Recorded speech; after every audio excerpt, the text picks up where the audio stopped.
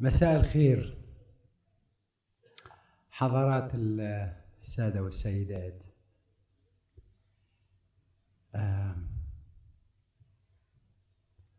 في حضرتنا روائية مبدعة يصعب تقديمها. يصعب تقديمها لأنها لأن رجلا يقدمها.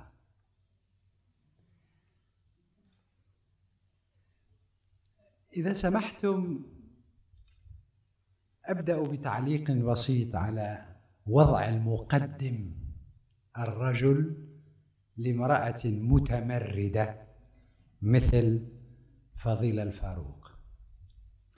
حقيقة هناك سؤال لا نطرحه دائما على أنفسنا ولكن لا بد أن يطرحه المقدم في هذه الحالة.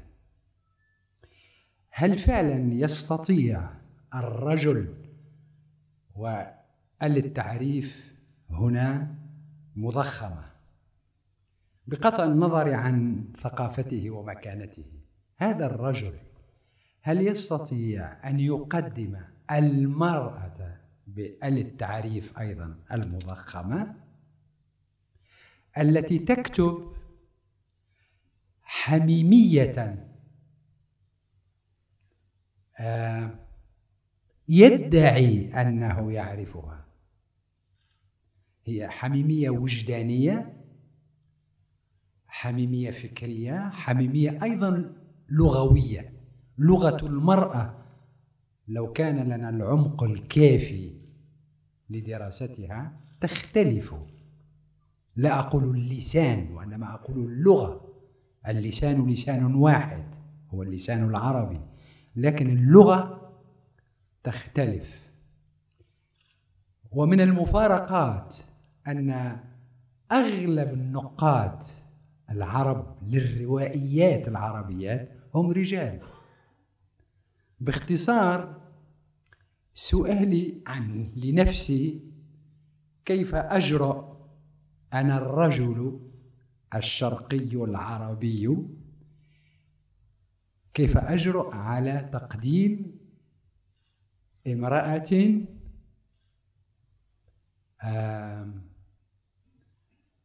تقوم ضد هيمنتي لأن موضوع رواياتها هي هو أنثوية تتمرد ضد ذكورية رجل عربي شرقي بشكل عام. فهذا السؤال طبعا صعب الإجابة عنه الآن لكن لا, لا بأس أن يثار. أما التقديم فأوله جوجولي نسبة إلى السيد جوجل. فضيلة الفاروق جزائرية ولدت في أريس مش عارف إذا كيف ينطق في جبال الأطلس. وعندما نقول جبال الأطلس على الأقل بالنسبة لي هي جبال التمرد. تاريخيا الأطلس جبال الأطلس الشماء هي جبال تمرد ضد الرومان ضد الفتوحات العربية كسيلة والكاهنة شهروا بتصديهم ومقاومتهم إلى الثورة الجزائرية. الثورة الجزائرية أيضا بدأت قدحت أول ما قدحت في جبال الأطلس. أقول هذا لأشير ضمنا إلى التم... إلى أن التمرد عند المبدعة له بعد تاريخي ثقافي فكري آه، بعيد وليس هو آه، يعني شيء جديد أو يعني آه، يتعجب منه. درست في قسنطينة ذهبت على ما يبدو والعهدة على السيد جوجل ذهبت إلى الطب أو الرياضيات ثم ارتدت أو صدتها الرياضيات لا أدري. فعادت وهذا من حسن الحظ إلى الأدب العربي. المرحلة الحاسمة وهذا هي ستقول لنا إن كان هذا صحيحا المرحلة الحاسمة أو المنعطف في مستوى الإبداعي هو بيروت. أخذتها ريح طيبة واستقرت في آه، بيروت وكانت لها الجرأة آه، أن تندرج في ظروف بيروت في السبعينات أو آه، وهي ظروف يعني تعرفها هي جاية من من بلد يختلف عن عن بيروت فعرفت كيف تندرج فيه وتتلائم مع هذه الطبيعة. ومن تواضعها أنها تعترف بمساندة بعض المثقفين والمبدعين في بيروت آه، مساندتها في آه، مشروعها آه، الإبداعي. ومن الصدف أني كنت قبل ساعات مع بول شاول الذي في بيروت الذي قدمها لي بطريقة أربكتني. قال لي تنبه إنها امرأة جريئة ذكية ومثقفة. فنحن اذا في حضرة شخصية آه، متميزة. في بيروت نشرت أول ما نشرت مجموعة قصصية آه، بعنوان لحظة لاختلاس الحب. كانت فيها شخصياتها ما زالت محتشمة شوي. عباراتها فيها اقتصاد ولكن المتنبه للقارئ المتنبه لهذه الأقاصيص يجد التوجهات الكبرى التي ستذهب فيها المبدعة. ثم مزاج مراهقة بعدها تاء الخجل وتاء الخجل هذا حكاية طويلة عريضة لأن موضوعه الاغتصاب والناشر العربي لم يعني تحرج خلينا نقول تحرج لنشره ولكنه على ما يبدو هو أكثر التأليف قراءة وترجمة. ومن وجهة نظري القمم التي وصلت إليها الروائية هي في آه، اكتشاف الشهوة وبعده آه، أقاليم الخوف. ما أريد أن أؤكد عليه في هذه وخاصة في هذين الكتابين الأخيرين أنه آه، أن فيه طبعا هذا مفروغ منه فيه جرأة في مواجهة التابوات أو الممنوعات العربية وخاصة في مجال آه، العلاقة بين الرجل والمرأة وتعابير أيضا آه، أحيانا بالنسبة للقارئ العادي تذهب إلى أقاصي آه، ما آه، يمكن التعبير عنه. لكن الأهم من هذا هو أن نكتشف أن الروائية مثقفة. يعني لا يكفي أن تكون روائيا. تم روائيين حكواتي يحكي. حكواتي يعني يعني سرد. سرد لا ينتهي سرد خطي كما يحكي أي إنسان وأنت جالس تحت نخلة. أما أما عند فضيلة هناك فعلا ثقافة. نجدها مثلا في رجوعها الضمني إلى علم النفس إلى البسيكاناليز إلى التحليل النفسي إلى السوسيولوجيا. يعني تحس أنه وهذا جعل أنك لما تقرأ هذه الروايات تجد تجد بلدها حاضرا بروائحه بناسه بألوانه. وأكيد أن أن فيها هذه الروايات فيها شيء فيها شيء أيضا منها هي آه، نفسها. الميزة الثانية مقارنة بالروائيات الجزائريات أنها تكتب بالعربية. تقريبا حسب تقديري إحصائيا خمس الروائيات الجزائريات فقط يكتبن بالعربية. هناك الجيل الأول المعروف آسيا جبار آه، آه، شو اسمها طاووس آه، ولا عمروش طاووس عمروش صبار ما زالت حية ليلى صبار ما زالت حية ولكن قاربت الثمانين. هذا جيل أول كتب فقط بالفرنسية ولكن بعده أيضا وفي هذا الوقت حتى في يومنا الحالي حتى ضمن الشابات الكتابة أميل إلى الفرنسية.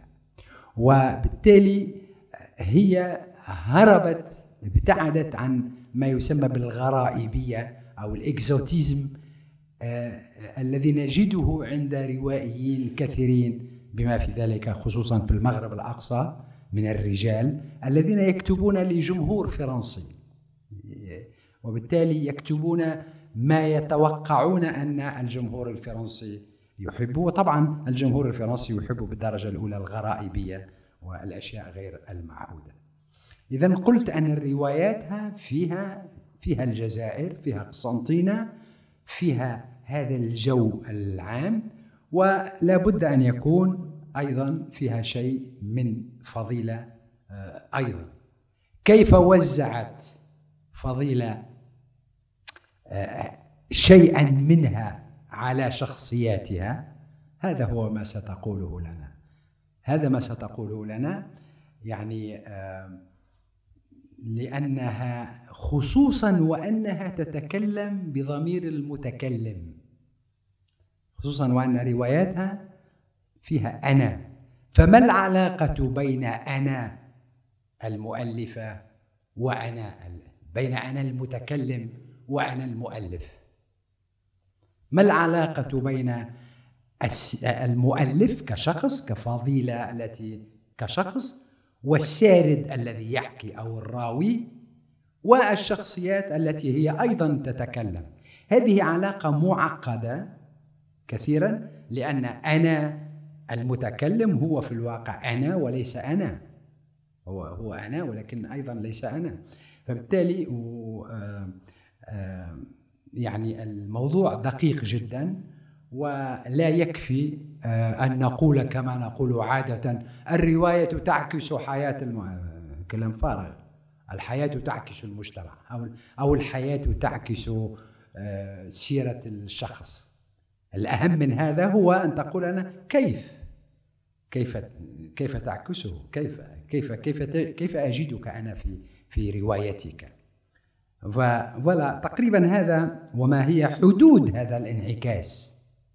فهذا تقريبا سامحوني أنا حبيت باش يعني نوسع شوية التقديم آه، فقط. آه، أبعد شوي من جوجل. ورحبوا بك وتفضلي قولي لنا ماذا هيك وشكرا. أول شيء مساء الخير. لا أدري إن كنت أستحق هذا التقديم الفخم الطويل. ربما أنا أصغر من هذا التقديم. وصراحة حين قيل لي أن الطاهر لبيب سيقدمني شعرت ببعض الخوف لأنه هو أيضا قامة فكرية وأدبية. آه، هو يقول أنه من الصعب آه، وجد صعوبة أو ربما ما يشبه ذلك أنه كيف سيقدم كاتبة متمردة آه، تمردت تريد التمرد على الذات الذكورية. والصراحة أنا لم أكن أعرف أنني كنت متمردة. هذه صفة ألصقت بي. أنا كنت أتصرف على سجيتي حسب إدراكي للأشياء من حولي وأذكر حادثة صارت في صغري. أنا كنت ضعيفة جدا جسديا ولكن كنت جد ذكية كنت الأولى في الصف دائما. تعرضت لتهديد من إحدى البنات معي في الصف. لأنه ما ساعدتهاش في الامتحان. وتعرف إحنا نخرجوا يعني ربما سي طاهر يعرف آه نحن نتشابه يعني انبثقنا من مجتمعات متشابهة كثيرا. آه المجتمعات الفقيرة المنسية خارج العواصم نحن أبناء قرى. فكنا حين نخرج من المدرسة القوي يغلب الضعيف. فكانوا يكبشوني من شعري شعري كان طويل. فأول نهار ثاني نهار لا لم أتقبل هذه المشكلة فذهبت عند الحلاق وهو حلاق وحيد في أريس التي كانت قرية صغيرة. قلت له يسلم عليك بابا. قال لي قص لي شعري. قال لي كيف؟ قلت له كيما أنت. يعني كوب لا يعني قصة رجالية. طبعا قص لي الضفيرة واعطاها لي في يدي وصبت شعري ورجعت إلى البيت. الذي حدث أن هذه الحادثة أمي أصيبت بالهلع. قالت أن السماء ستسقط علينا لأني قصصت شعري وهناك لعنات ستتبعني إلى آخر يوم في حياتي. والدي خاصمني لأكثر من شهر. توقف أن يكون أبي وعلى فكرة هو أبي الذي رباني وهي أمي التي ربتني. ردة الفعل هذه أثرت في كثيرا. هل هذا الشعر الذي قصصته دون أن أشعر بأي ألم وهو خلصني من مشكلة كبيرة هل أستحق عليه هذا الخصام المؤلم؟ صحيح كنت طفلة في الثالثة عشر من عمري ولكن ظلت هذه الحادثة في رأسي إلى يومنا هذا. التمرد لم يكن مقصودا مني. كنت دائما أبحث عن الحلول. مثلا لكي يسهل هروبي لأنه كنا نخرج من المدرسة في السادسة مساء وكانت ليل وكنا نتعرض لتحرشات وهجوم من طرف الذكور. كان الأسهل لي أن أرتدي حذاء رياضيا وبنطلون. لكي أهرب. يعني هذا كان حل. لكن هذا لم يكن يفهم كذلك. في ذلك الوقت المبكر كان يفهم شيئا آخر. أنا لم أستوعب هذه الأشياء حتى كبرت. طبعا بقيت دائما أبحث عن منفذ آه، لكي أعيش بطريقة مرتاحة فيها. آه، الله منحني مواهب كثيرة وبرزت بهذه المواهب خلال مسيرتي في المدرسة وفي الجامعة أيضا. آه، كنت أتقن الغناء أتقن الرسم شاركت في نشاطات جامعية كثيرة. ولكن في الأخير اتضح أنني أحب الكتابة أكثر لأنها الصوت هو صراخ الداخل الذي أقوله وأنا هادئة. أعتقد أنني لست متمردة سيد طاهر. أنا آه، أقول الأشياء التي تجول في رأسي وأطرح هذه الأسئلة. آه، أحيانا أتفاجأ لماذا لماذا يغضب الآخر مني حين أقول هذه الأشياء. آه، تحدثت في محاضرتي التي حضرتها. أننا نحن النساء حين نكتب نتهم تهمة واحدة ونقرأ بطريقة واحدة وهذا أيضا يؤلمني. أنا لا أشبه كل امرأة هي تاريخ كما كل كاتب هو تاريخ وكل رجل هو تاريخ. كل واحد يختلف عن الآخر كل واحد لديه بصمة مختلفة بصمة عين بصمة أصابع فنحن مختلفون. ولكن لا أدري لماذا نوضع في آه، بوتقة واحدة. أتحدث في آه، موضوع محاضرة اليوم. لو سمحت. في الطاهر أي. آه، تحدثت عن هذه القراءة التي تتهم المرأة أنها أن عالمها صغير. هي تتحدث عن العلاقات العاطفية عن العلاقات الأسرية عن الزواج عن خيبة الحب عن هذه الأمور التي يراها البعض بسيطة عن اهتماماتها اليومية. لكن هل تساءل القارئ آه، بكل أنواع سواء كان إعلاميا أو كان ناقدا هل تساءل أن هذه الأشياء هي أيضا قضايا مهمة؟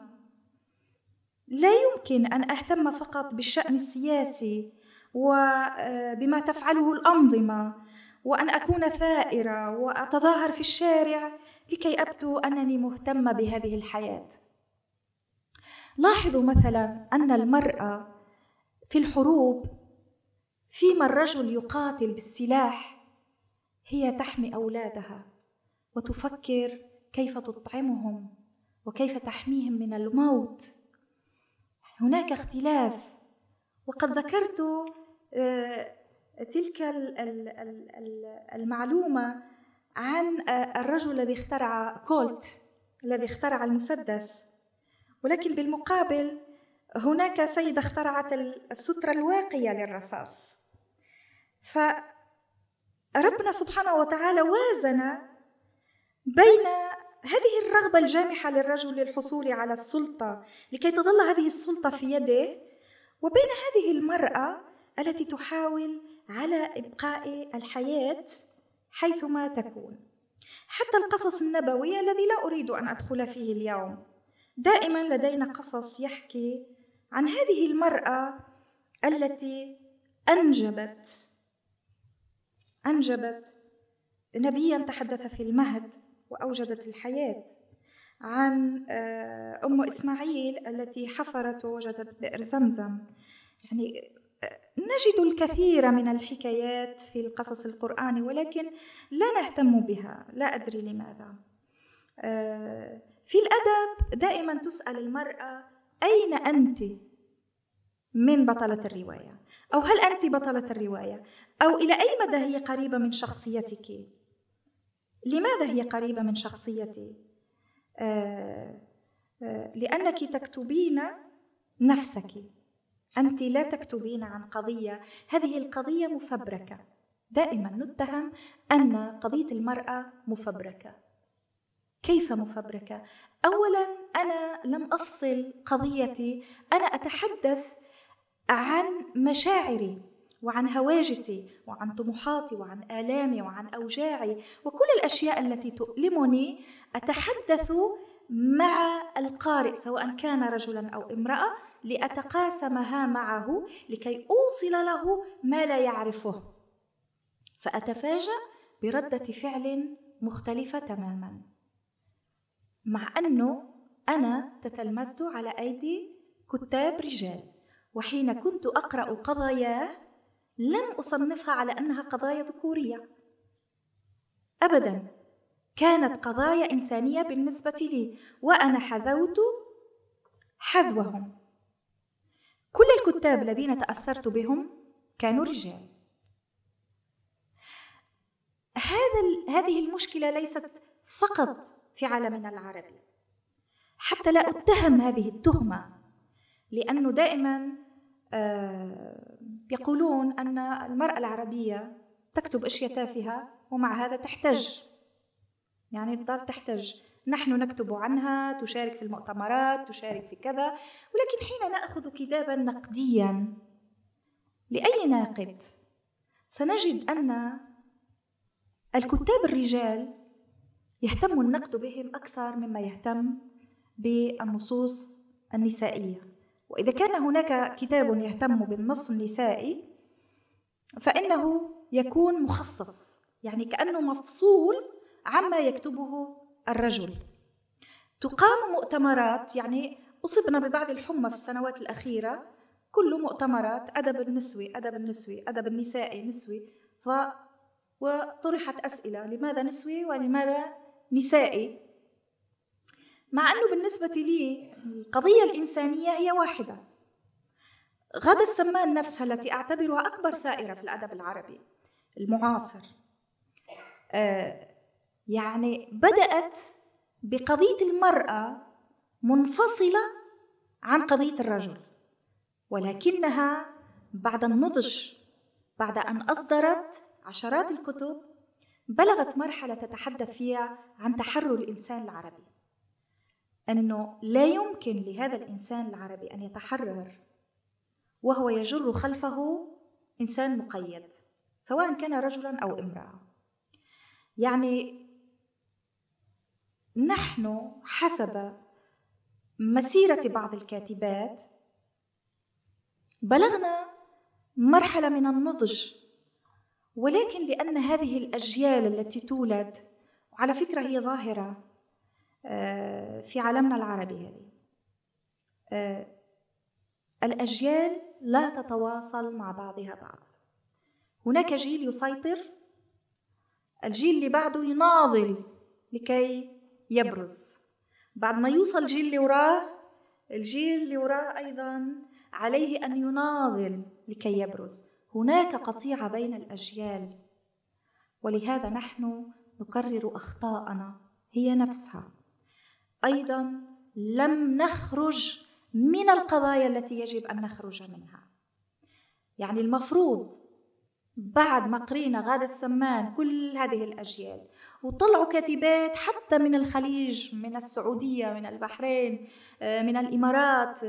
أصبحت المرأة تكتب وتتعاطى مع مواقع التواصل الاجتماعي آه، براحة كاملة. كان من المفروض أن تصبح هذه القضية آه، وراءنا.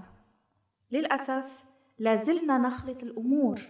كأن نتحدث مثلا عن حركة féministe في العالم العربي. ما في حركة féministe لا توجد نسوية في العالم العربي. لا توجد. يعني حتى التي تدعي النسوية حياتها كلها مرهونة بالرجل بزوجها وخيها وأبوها وتقوم بالأشياء سرا ويجب أن تأخذ بركات أبوها وبركات جوزها. يعني شيء شيء لا يصدق أنه نحن نتحدث عن أشياء غير موجودة عندنا. إذا في مثلا عشر نساء في تونس وعشر نساء في الجزائر مثلا قالوا أنه حركتنا حركة نسوية محضة. فهذا لا يعني أنه عندنا حركات آه، نسوية féministe وعندها قوة وعندها صوت مسموع وتتدخل في التشريعات وتغير قوانين. هذا غير موجود. لنعد للأدب لأنه هذا الموضوع طويل طويل جدا. في الغرب آه، مثلا جورج ساند أكيد آه، تعرف حكايتها. اسمها الحقيقي. لأني لا أحفظه. جورج ساند اسمها أورور جيبان آه كتبت باسم رجل لسببين. هي قالت لكي تقرأ بجدية ولكي تعامل باحترام. يعامل نصها باحترام. ليست هي فقط التي كتبت باسم مستعار رجال اختفت وراءه كاين ماري داغولت كاين ديلفين دو جيراردان كاين جان لوازو. كاين إليزابيث ماكينتوش. كاين إلزا تريولي اللي هي حبيبة أراغون. آه كانت تكتب باسم رجل لورون دانييل وأخذت جايزة Les Amants d'Avignon عشاق أفينيون آه أنا كتبت باسم مستعار رجالي. لماذا؟ لأنه في سنوات الإرهاب أنا أوريدي اخترت اسم مستعار اللي هو الفاروق ولكن أصبحت معروفة. آه، حين كتبت أول مقالة قدمتها لجريدة السفير باسمي أنا عن الظروف التي يعيشها المثقف كذا. يعني بدأ أنه هذه الصبية ماذا تعرف من الإرهاب؟ وهل فعلا عانت؟ لا.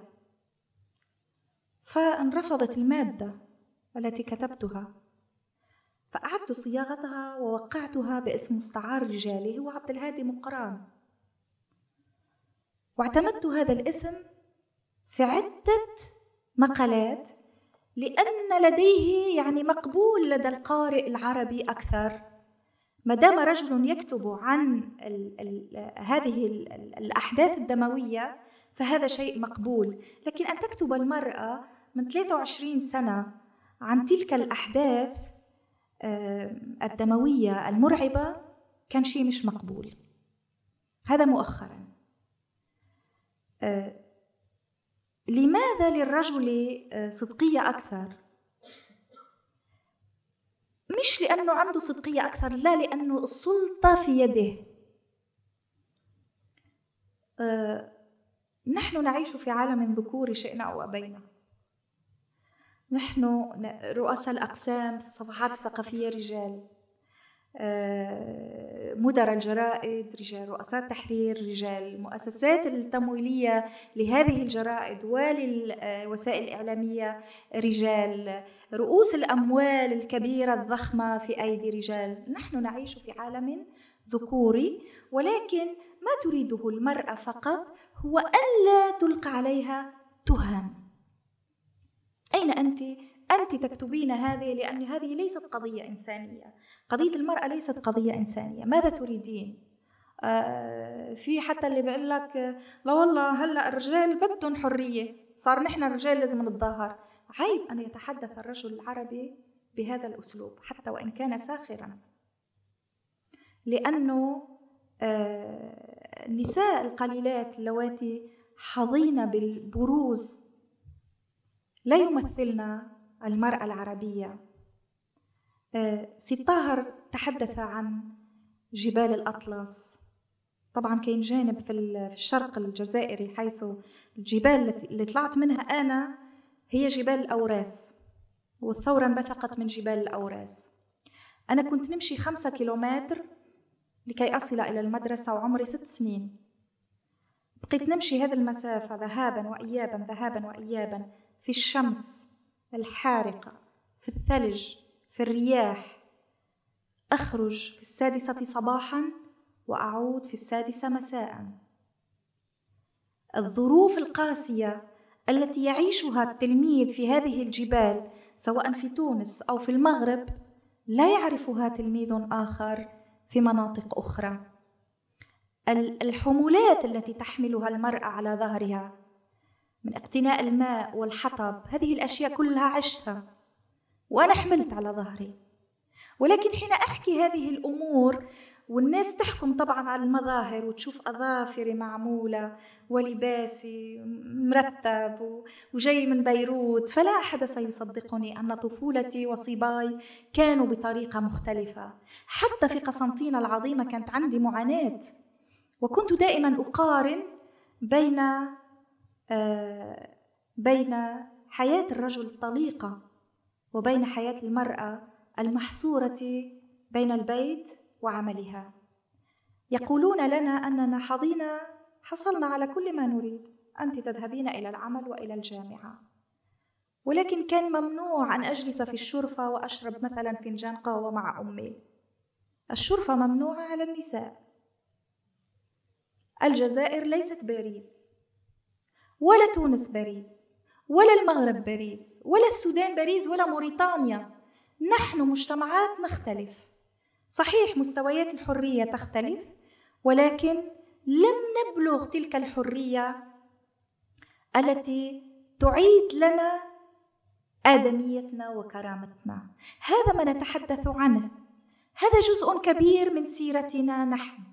حين أتحدث عن هذه العذابات الشخصية التي عشتها أو رأيتها فهذا لا يعني أني أكتب سيرتي الذاتية كاين كتاب كاين كتاب لي آه واسمه آه اسمه يوميات الحياة الأدبية لبيير جون دوفياف ماذا كتب في هذا الكتاب؟ قارن بين السيرة الذاتية للكتاب وبين نتاجهم الأدبي. طبعا في الغرب كاين شيء مشهور اللي هو اليوميات آه، أو البيوغرافيا أو السيرة الذاتية التي يكتبها الكاتب. فيقارنون بين مقاطع لكي يستخرجوا أين في الأدب أين يشبه الكاتب أدبه أين أخذ من حياته الشخصية وغذى نصه. هذا الشيء غير موجود في العالم العربي لأنه حتى اليوميات عندنا ملغمة. قد أكتب عن نفسي. يعني المرأة أسوأ.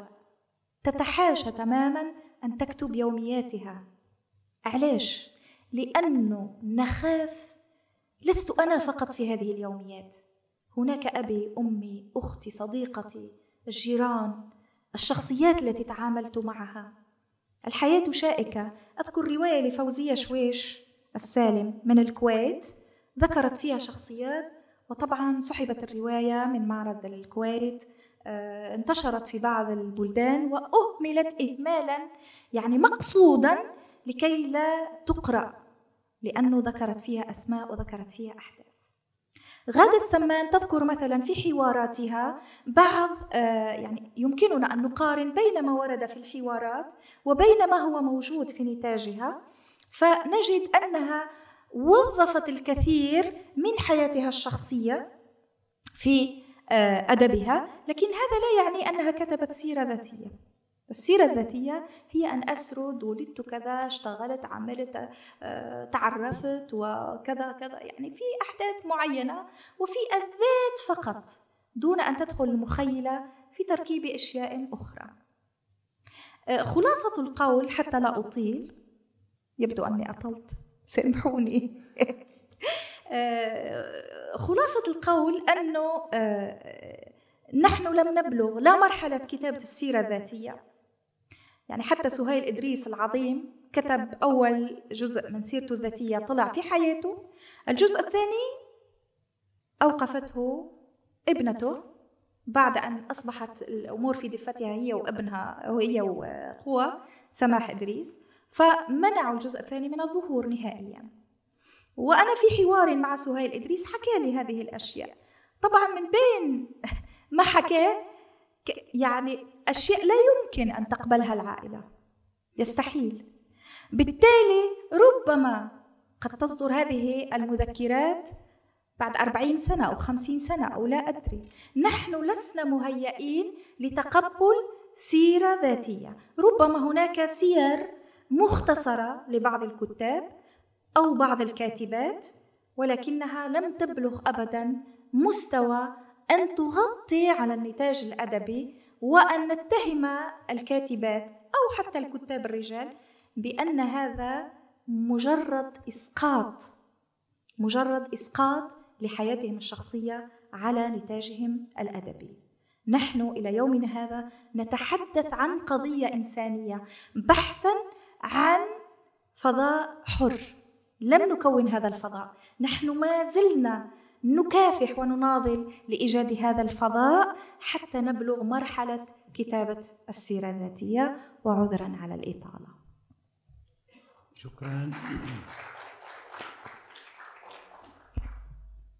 شكرا.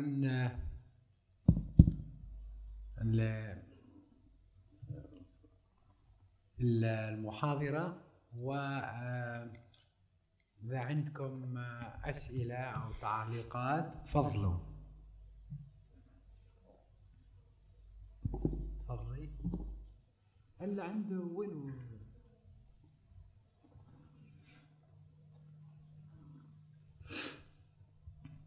مساء الخير أستاذ طاهر على هذا التقديم الجميل. نورتي البحرين هذا كان موعدنا يعني منوره بأهله. حبيبتي أحب أقول للجمهور أن فضيلة الفاروق تربطني بها صداقة من أوائل ضيوف برنامجي. سعدت كثيرا في بداية مشواري بالإعلام المرئي أن استضفت سيدة أستطيع القول أنها تتطابق مع نصوصها مع مقالاتها مع تصريحاتها. وجدت آه، في الكثير من الشخصيات التي مرت في حصصي التلفزيونية الكثير من المفارقات الصادمة بين شخصياتهم وإنتاجهم الابداعي بين سلوكياتهم وبين تنظيراتهم. آه، فضيلة الفاروق شخص كثير شفاف آه، ممكن أن ترمي بقنبلة آه، في أي لحظة بشكل مباغت ومفاجئ. لم لم تذكري لنا الكثير من الأشياء اليوم بالمحاضرة. حابة إنك آه، تضيئي على الكثير من النتوءات اللي مريتي فيها بسيرتك. بين عندما خرجت من الفردوس الدامي لنقل إن صح التعبير من الجزائر وذهبت إلى الحلم إلى لبنان إلى بيروت وكنت متفائلة جدا بأنك ستلتقي أسماء ورموز إن صح التعبير صحيح. أو علامات بالصحافة أو بالأدب. وقلت أنني أتطلع إلى تلك الشرفات العالية. صحيح. وعندما وصلت بيروت صدمت وقلت إن هذه الشرفات لم تكن شرفات كما ظننتها. هذه نقطة واحدة. أحب أنك تضيئي على تجربتك ببيروت وصدمتك بالمشهد الثقافي أو مع رموز الفكر والفن والأدب هناك. نقطة ثانية فضيلة الفاروق في جانب آخر غير الرواية المقال وأنت تكتبين المقال منذ زمن. صحيح. ومؤخرا أنا أتابع مقالك طبعا بجريدة الرياض و أجد أنك تتحدثين عن الرواية والسيرة وخصوصا الرواية النسوية إن صح التعبير وإن اتفقنا على أننا ضد هذا التصنيف السخيف بين الأدب النسائي والرجالي أو أدب الأظافر صحيح. الطويلة كما يقال آه، أعتقد أن في روائيات ما أدري تتفقين معي أو لا آه، سربنا أجزاء كثيرة من سيرهن الذاتية برواياتهن. مثل علوية الصبح مثلا بدنيا أو اسمه الغرام أو صحيح. مريم الحكاية آه، عندك أحلام مستغاني أحلام. بذاكرة الجسد صحيح. وفوضى الحواس وعابر صحيح. سرير صحيح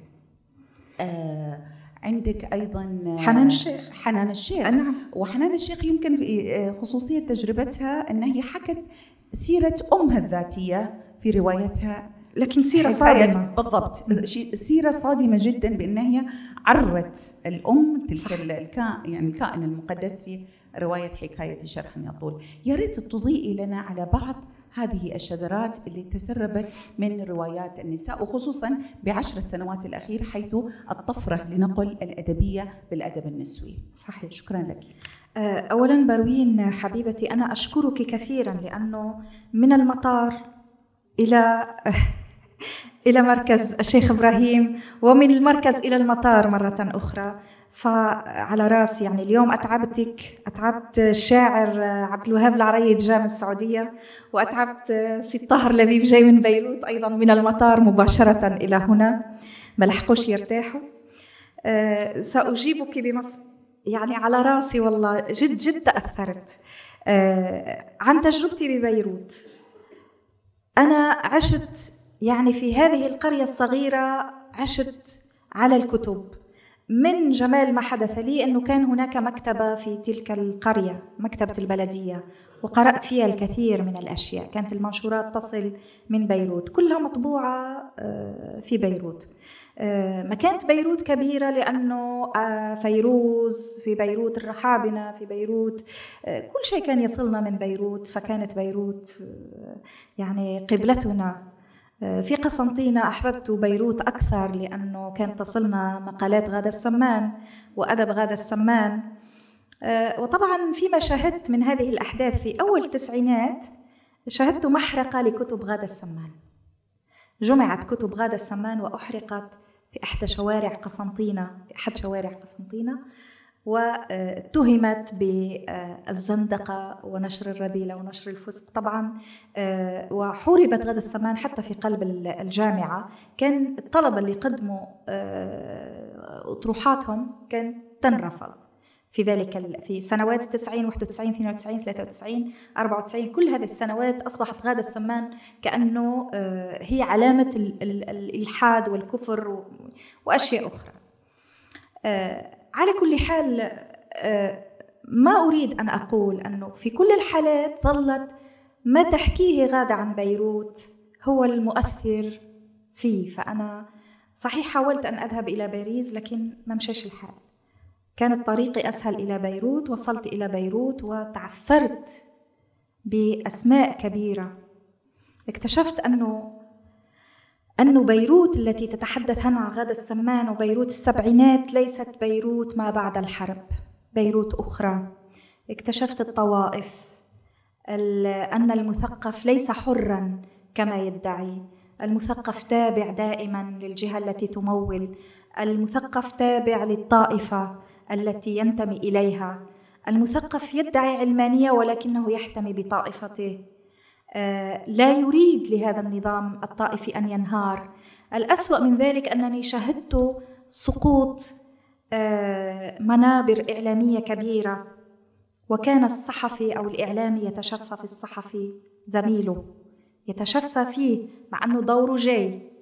فكان هذا أسوأ ما عشته آه، في بيروت والأسوأ أكثر أن أجد نفسي أنا الجزائرية التي أعامل يعني ما هذه الشعرة التي وقعت على العجين؟ ليش جاي عنا؟ شو بدك؟ يعني صار السؤال محرج لي. فما كان صعب كان علي كان صعب جدا إنه أن أجد مكاني. لذلك أنا أكن الكثير من المحبة والإحترام مثلا لبول شاول. بول شاول أول من أطلقني. وأنا سعيدة بذلك لأنه بول قال لي إذا حكيتي طائفية قومي من على طاولتي.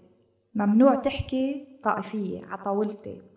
ثانيا ما بحب حدا يقول لي أستاذ أنا بول نقطة على السطر. فالحمد لله إنه وجدت مثقف كنت أقرأ له ووجدته كما هو.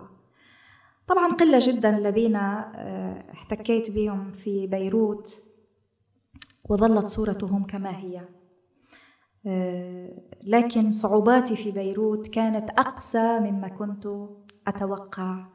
آه، كل شيء كان آه، يعني اكتشفت أن اللبناني أكثر يحافظ على الصورة التي يراها الآخر لأنه يعرف سلفا نوع المتلقي الذي يواجهه سواء التلفزيونات سواء الجرائد سواء يعني أخطأت كثيرا أنا في كتابة المقالات أحيانا أخطئ كلمة.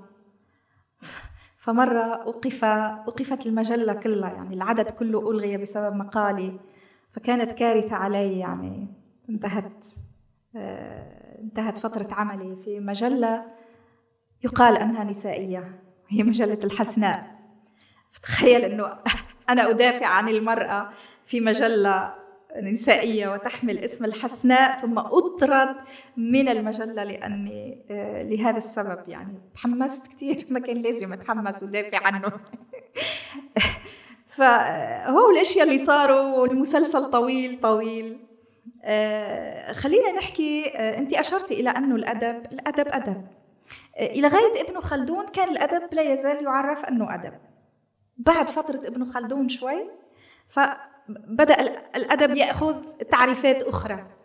أصبح أدب القصور أدب المدري شو أدب كذا وبعدين أدب الجواري بعدين يعني لا أدري إلى أي مدى يمكن أن يوافقني الآخرون على هذه التسميات ولكن صار في أدب جواري صار في أدب يعني حتى آه، بعض الغزل يعني بعض الغزل يؤخذ. خذ أي غزل ماجن قاله رجل وأي غزل عفيف قالته امرأة يفضلون الغزل الماجن الذي يقوله الرجل. ولا أدري السبب. يعني ينسب المجون لهذه المرأة التي تمرر رسائل يعني شفرات حتى مش إنه بهذا بهذا الجرأة. آه، على كل آه، تحدثت آه، عن أحلام عن علوية عن حنان الشيخ. حكاية أحلام بالذات أثارت الكثير من اللغط. لماذا نجحت هذه السيدة؟ لماذا نجح نصها ذاكرة الجسد؟ مع أنه كان عندها نصوص قبل. هي أصدرت ثلاث مجموعات شعرية. آه، وطبعا أنا تناولت أحلام في أطروحة الماجستير. درستها جيدا. آه، ذكرت أهم المحطات من حياتها. مثلا ولدت في تونس تربت في كذا. آه، ذكرت بعض أصدقاء والدها. في أشياء من حياتها ولكن ليست حياتها. أين السؤال أو علامة الاستفهام الكبيرة التي أثيرت؟ من كتب لأحلام الرواية؟ ذكر طبعا حيدر. حيدر آه، مع أنه أسلوبه مختلف تماما. ذكر سعد يوسف مع أنه لا علاقة أبدا بين النص سعد يوسف وبين نص أحلام. ذكر نزار قباني وأنا أشك أنه نزار قباني يقعد يكتب 300 صفحة لأحلام. آه، يعني كلها كانت حالات مرفوضة. الحلقة المفرغة أو الحلقة الضائعة في كل هذا أنه عندنا كاتب في الجزائر اسمه مالك حداد. مالك حداد درسته أحلام في أطروحة حين كانت تحضر دكتوراه تروازيام سيكل عندها درست مالك حداد باللغة الفرنسية وتأثرت بأسلوبه. في الجزائر هناك من يقول مثلا أن أحلام ترجمة مالك حداد. هذا للتشابه بين الأساليب وطريقة اللغة وسرد الأحداث حتى أنه وصفت قسنطين الخمسينات ولم تصف, تصف قسنطين الثمانينات كما في ذاكرة الجسد. يعني لو قمنا ببعض المقارنة لا وصلنا إلى هذه الاستنتاجات وتوقفنا عن اتهام الكاتبة كل هذه التهم التي لحقتها للأسف مقالتي آه، لم يهتم بها أحد أيضا مع أنها نشرت في السفير ثم في النقاد ولكن آه، لم يهتم بها. لماذا؟ لأنه أزاحت يعني أبعدت التهمة عن أحلام. هناك رفض لماذا نجحت شعبيا مع أنه هي تكتب لفئة معينة؟ هذا موضوع آخر أيضا. العتاب أيضا طال علوية صبح. أين علوية صبح؟ في الرواية. آه هي هنا هي ليست هنا. وأذكر جيدا أني التقيت صحفي سألني وقال لي آه هل تعرفين علوية صبح جيدا؟ قلت له نعم. أنا أجبت على أساس أنه أعرف الرواية يعني أعرف الروائية. فقال لي هل تظنين أن من ذكرته في الرواية هو فلان؟ لا. قلت له لا أدري يعني ما, ما, نعرفش. قال كيفاش ما تعرفيهاش؟ طيب هي تحدثت عن عملية إجهاض. أيمكن أن تكون هي من أجهضت؟ فهنا صعقت صعقت قلت له هذه يعني وكان السيد عمره واحد ال 65 67 سنة. فأنا صعقت صراحة. قلت هل يهمك الأمر أن تكون هي في الرواية أو غيرها؟ قال إيه يهمني؟ لأنه آه، كلهن يدعين العفة ولكن لا توجد امرأة عفيفة. غريب. هناك محاكمة أخرى في رواية في رواية لربيع جابر. طيب هو رجل ربيع جابر. وربيع جابر لا يظهر للصحافة. عنده رواية اسمها أمريكا بطلة الرواية تنطلق من لبنان بحثا عن زوجها في أمريكا في الهجرات الأولى اللي حدثت من لبنان إلى أمريكا طبعا هذه السيدة حافظت على عفتها طيلة الوقت. عنا شاعر لبناني لا داعي لذكر اسمه. أيضا طرأ مقال مرتب وقال من هذه المرأة التي تترك لبنان وتسافر بالباخرة وتغادر من قارة إلى قارة وتبقى عفيفة. انزعج. لماذا تخلق تهمة لبطلة هي وهمية مش موجودة؟ ولماذا تريد أن تركب فكرا آخر غير الفكر الذي يريده ربيع جابر لبطلته؟ لا أدري. يعني أحيانا حتى البطلة متهمة حتى البطلة الوهمية التي يشكلها الكاتب بمخيلته متهمة يجب أن تكون على نسق تفكير فلان وفلتان وعلان. لا أدري إن كانت هذه آه، إشارات إلى تحقير المرأة التي تملك قليلا من حريتها أو زمام أمورها في يدها لأنه حتى مفهوم الحرية من خلال كل هذه المعمعة الأدبية حتى مفهوم الحرية اليوم أصبح مشوه لدينا. نحن لا نعرف معنى الحرية. حين نقول حين تقول المرأة أنا حرة معنات أنت فلتانه أنت بتجي بعد 12 بالليل أنت بتسهري تروحي بتجي بتعملي علاقات يمكن. وهذا شيء مخيف مع أن الحرية كما تعلمناها في المدارس الحرية هي أن تكون حرا ولا تكون عبدا لأحد. هذا مفهوم الحرية. وهذا ما أرى آه، في كل هذه النقاط التي تحدثت عنها. أعتقد أن هناك شيء محرك للكاتب سواء رجل أو امرأة. هذه محركات الإبداع. هناك وجع شخصي ينطلق منه الإبداع. الآن تقولي فرويد نظرية فرويد نظرية أخرى لا أدري. ما أعرفه هو أنا وجعي الشخصي دفعني للكتابة لأنه شعرت أنه حتى حين أصرخ فإن صوتي لا يصل.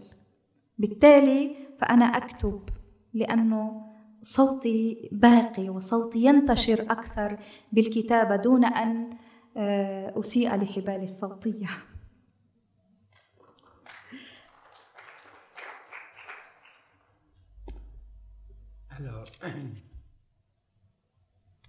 إذا كان ما في إن لم يكن هناك متداخل تسمحوا لي بتعليق بسيط للتوضيح فقط. يعني بالنسبة للتمرد ليس المقصود به تمرد المؤلفة وإنما تمرد شخصياتك. شخصياتك في الرواية متمردون. الناحية الثانية أشرت إليها بسرعة ولكن لا بأس أن تثار وخاصة بالنسبة للمرأة. وهذا رأي كتب عنه عالم اجتماع اسمه بورديو كتب عنه بعمق. عن الهيمنة الذكورية يقول إن المشكل الأساسي ليس في أن الرجل يهيمن على المرأة إنما أن إن, أن تستبطن المرأة هيمنة الرجل هذا هو المشكل الأساسي. وأنا أعرف جيدا عندي زميلة في بيروت آه، في آه، جامعة سان جوزيف القديس يوسف. وهي آه، يعني محللة نفسية وبسيكياتر آه، أيضا. ولمدة عشرين سنة يعني تناولت يعني أعراض آه، مرضية عند النساء. وكتبت مقال مهم جدا تبين فيه أن الجامعيات الحاصلات على شهادات عليا. والمدرسات في الجامعة يخضعن لنفس يستبطن النفس الهيمنة الذكورية سواء في الزواج أو في العلاقة بالزوج في البيت. معنى ذلك أنه حتى الدراسة والتعلم لم يخلصهن لم يخلصهن من آه، هذه السيطرة الذكورية. بالنسبة للسيرة الذاتية ملاحظة الثانية. ليس المقصود بما في النص بما في الرواية السيرة الذاتية بالمعنى الحرفي للكلمة آه، وإنما هو الرصيد. أنت مثلا الآن قلت كلمة حلوة كثير. قلت كتبت بوجع الشخصي وجعك الشخصي هذاك هو الموجود في الرواية. يعني دائما هناك شيء منك في الرواية. أحببت أم كرهت؟ صحيح. علمت أم لم تعلمي؟ وليس بالمعنى السيرة الذاتية يعني. والله أنا أعترف يا أستاذ طاهر. أنا أعترف أنني أختبئ ليس فقط شخصية واحدة. أنا أختفي وراء عدة شخصيات. هذا, أي. هذا هو كان المقصود. فبالتالي يعني لا مفر من أن يكون آه، ولذلك ولذلك واحد مثل غارسيا ماركيز يقول أنه لا يمكن لواحد أن يكتب رواية عن الحب وهو لم يحب. صحيح. آه يعني اذا ثم بعض التجارب كالحب مثلا آه لا يمكن ان يكتب واحد رواية عن الحب وهو لم يحب. أنت ضد مقولة أعذب الشعر أكذبه؟ أعذب لا أعذب الشعر أكذبه. هذه لا لا أعذب الشعر أكذبه. كلمة حلوة كثير. لأن الكذب هو من أكثر ما يعكس حقائق الناس والشعوب. لأنهم أكثر الناس يعبروا عن الحب ولكن يعبرون عنه بكذب ولكنه كذب مستحسن. مباح. هذا محبوب مش مباح. مسامح هل هل ثمة محب يكتب عن حبه ولا يكذب؟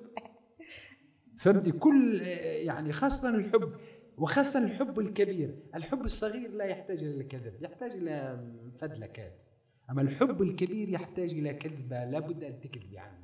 لإنقاذ هذا الحب الكبير ليبقى كبير لازم تكذبي ولذلك فهو كذب مطلوب في الحب وليس ممنوعا. فهمني وإلا يكون الإنسان ساذج في الحب وما تمشيش أموره. بارك الله فيكم وإن شاء الله نشوفكم آه، المرة القادمة. ونشكر كثيرا فضيلة الفاروق على ما آه، قدمت وعلى أيضا الجهد ما بذلت من جهد السفر. ونتمنى لها سفرة ميمونة وإن شاء الله ديما نشوفكم بخير. يعيشك.